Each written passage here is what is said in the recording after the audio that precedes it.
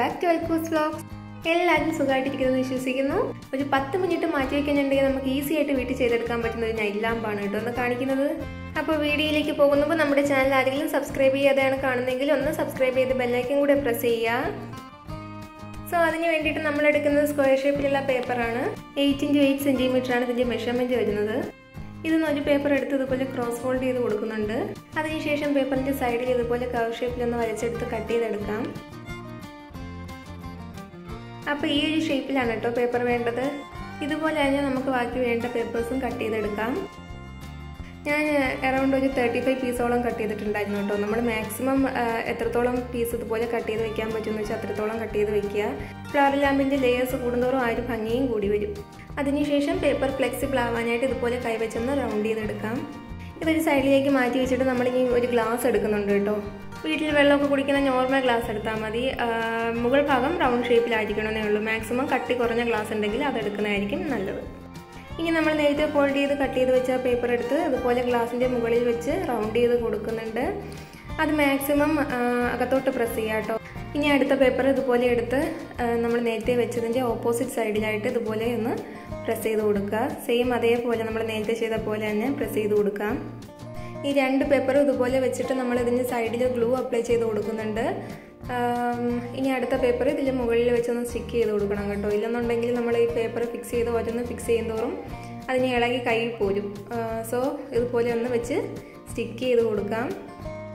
ഇപ്പോൾ സ്റ്റിക്ക് ചെയ്തതിന്റെ ഓപ്പോസിറ്റ് സൈഡിലായിട്ട് ഇതുപോലെ വെച്ച് നമുക്ക് ഗ്ലൂ അപ്ലൈ ചെയ്ത് സ്റ്റിക്ക് ചെയ്ത് കൊടുക്കാം. ഓരോ പേപ്പറും നമ്മൾ സ്റ്റിക്ക് ചെയ്തിട്ട് അതിന്റെ ഓപ്പോസിറ്റ് സൈഡിലാണ് കേട്ടോ നെക്സ്റ്റ് പേപ്പർ സ്റ്റിക്ക് ചെയ്യേണ്ടത്. ഈ ഒരു ഫസ്റ്റ് ലെയർ സ്റ്റിക്ക് ചെയ്തത് നല്ലോണം ഡ്രൈ ആയ ശേഷം മാത്രം നെക്സ്റ്റ് ലെയറിൽ ഗ്ലൂ അപ്ലൈ ചെയ്ത് കൊടുക്കാം. സെക്കൻഡ് ലെയറിൽ നമ്മൾ സ്റ്റിക്ക് ചെയ്യുന്നത് ഇതുപോലെ ഗ്യാപ്പുള്ള സ്ഥലത്ത് നോക്കിയിട്ടാണ് കേട്ടോ. ആ ഗ്യാപ്പ് ഫില്ലാവുന്ന രീതിയിൽ ഇതുപോലെ വെച്ച് റൗണ്ട് ചെയ്ത് കൊടുക്കാം. ഓരോ പേപ്പറും സ്റ്റിക്ക് ചെയ്യുന്നതിന് മുമ്പ് നമ്മൾ കൈവച്ച് ഒന്നുകൂടെ ഒന്ന് ഫ്ലെക്സിബിൾ ആക്കിയ ശേഷം ഇങ്ങനെ വെക്കുകയാണെങ്കിൽ കുറച്ചുകൂടെ ഈസി ആയിരിക്കും കേട്ടോ. നമ്മളിപ്പോൾ വെച്ചത് ഈ ഒരു പൊസിഷനിലാണ് ഞാൻ അടുത്തത് വെക്കുന്നത് ഈ സൈഡിലാണ് കേട്ടോ. ആ ഒരു ഗ്യാപ്പ് ഫില്ലാവുന്ന രീതിയിൽ ഇങ്ങനെ വെച്ച് വെച്ച് സ്റ്റിക്ക് ചെയ്ത് പോവാം. എല്ലാ പേപ്പറും ഇതുപോലെ അല്ല കേട്ടോ സ്റ്റിക്ക് ചെയ്യുന്നത്. സോ വീഡിയോ സ്കിപ്പ് ചെയ്യാതെ ഫുള്ള് കാണാൻ ശ്രമിക്കുക.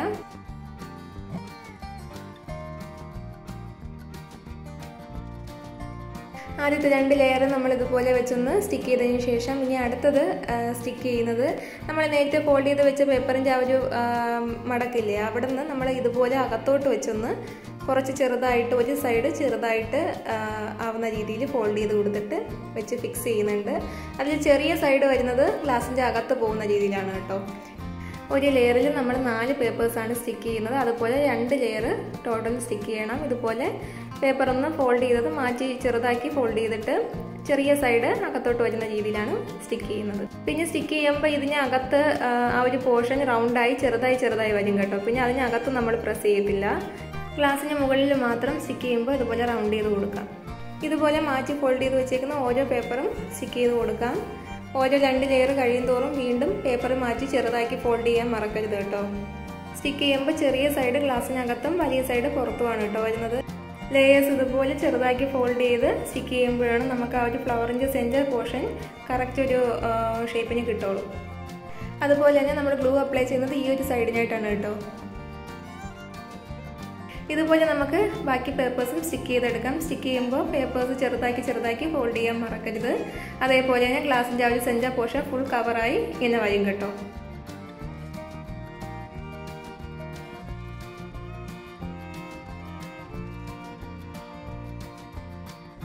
പേപ്പറിന്റെ ഈ ഒരു സൈഡ് സ്റ്റിക്ക് ആയിട്ടില്ലെങ്കിൽ കുറച്ച് ഗ്ലൂ അപ്ലൈ ചെയ്ത് നല്ലോണം സ്റ്റിക്ക് ചെയ്ത് കൊടുക്കുക.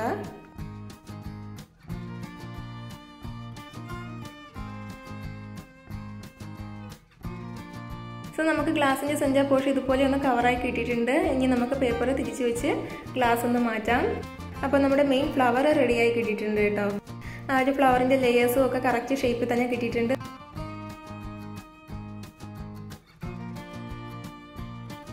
നമുക്കൊരു സർക്കിൾ ഷേപ്പിൽ കുറച്ച് കട്ടിയുള്ള പേപ്പർ വേണം. സോ അതിന് വേണ്ടിയിട്ട് ഞാൻ ഒരു ഇതുപോലൊരു കാർട്ടൂൺ ഷീറ്റ് എടുത്ത് കട്ട് ചെയ്ത് എടുക്കുന്നുണ്ട്.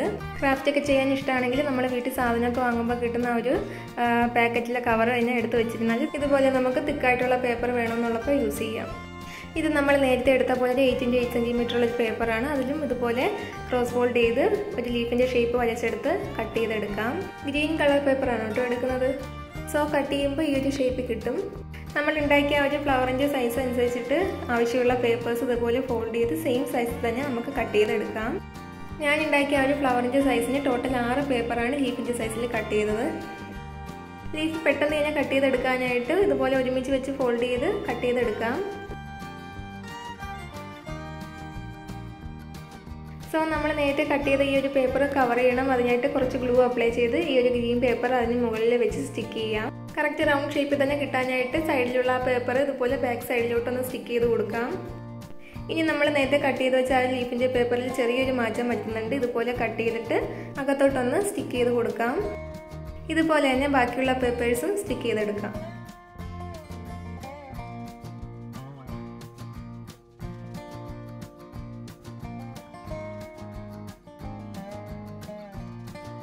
ഇനി ഈ ലീവ്സ് എല്ലാം ഓരോന്നും ഇതുപോലെ സർക്കിൾ ഷേപ്പിൽ തന്നെ വെച്ച് സ്റ്റിക്ക് ചെയ്തെടുക്കാം.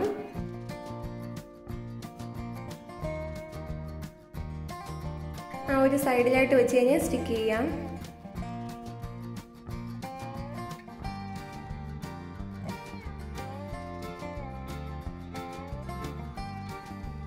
സോ നമ്മൾ ലീവ്സ് എല്ലാം ഇതുപോലെ വെച്ച് ആ ഒരു സർക്കിൾ ഷേപ്പിൽ തന്നെ സെറ്റ് ചെയ്തെടുത്തിട്ടുണ്ട്.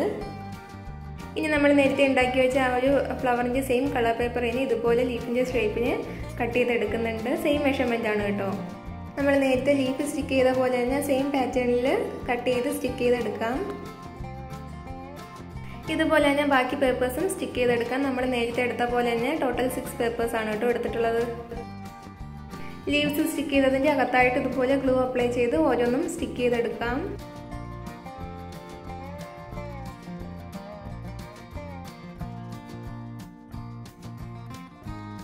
സോ ഇത് ഏകദേശം റെഡി ആയിട്ടുണ്ട് കേട്ടോ. ഇനി നമുക്കിതിൽ ഒരു ലൈറ്റും കൂടെ ഒന്ന് ഫിക്സ് ചെയ്യണം. അതിനായിട്ട് വീട്ടിൽ ചീത്തായിരുന്ന ഒരു ടോയുടെ ലൈറ്റ് ഞാൻ ഇളക്കി എടുത്തിട്ടുണ്ടായിരുന്നു.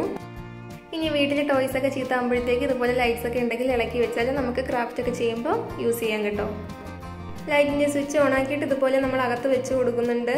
സ്റ്റിക്ക് ചെയ്യാതെ ജസ്റ്റ് ഇതുപോലെ ഒന്ന് വെച്ച് കൊടുത്താൽ മതി.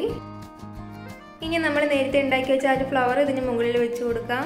ഈ ഫ്ലവർ നമ്മൾ സ്റ്റിക്ക് ചെയ്യുന്നില്ല കേട്ടോ. എങ്കിൽ മാത്രമേ നമുക്ക് ആവശ്യമുള്ളപ്പോൾ ആ ലൈറ്റ് ഓണും ഓഫും ആക്കാനായിട്ട് പറ്റുള്ളൂ. സോ നമ്മുടെ ഫ്ലവർ ലാമ്പ് റെഡി ആയിട്ടുണ്ട്. ക്രാഫ്റ്റിനെ കുറിച്ച് അധികമൊന്നും അറിയാത്തവർക്കാണെങ്കിൽ പോലും ഈസി ആയിട്ട് തന്നെ വീട്ടിൽ ഉണ്ടാക്കിയെടുക്കാൻ പറ്റുന്നതാണ്. എല്ലാവരും ഒന്ന് ട്രൈ ചെയ്ത് നോക്കുക. അപ്പോൾ ഈ ഒരു വീഡിയോ എല്ലാവർക്കും ഇഷ്ടമായിട്ടുണ്ടെങ്കിൽ ഒന്ന് സപ്പോർട്ട് ചെയ്യുക ലൈക്ക് ചെയ്യാനും ഷെയർ ചെയ്യാനും മറക്കരുത്. അതുപോലെ തന്നെ വീഡിയോ സബ്സ്ക്രൈബ് ചെയ്യാതെയാണ് കാണുന്നതെങ്കിൽ സബ്സ്ക്രൈബ് ചെയ്ത് അടുത്തുള്ള ബെല്ലൈക്കൻ കൂടെ പ്രസ് ചെയ്യുക. നിങ്ങൾക്ക് ഇഷ്ടപ്പെടുന്ന മറ്റൊരു വീഡിയോയുമായി ഉടൻ തന്നെ വരുന്നവരെ bye bye thanks for watching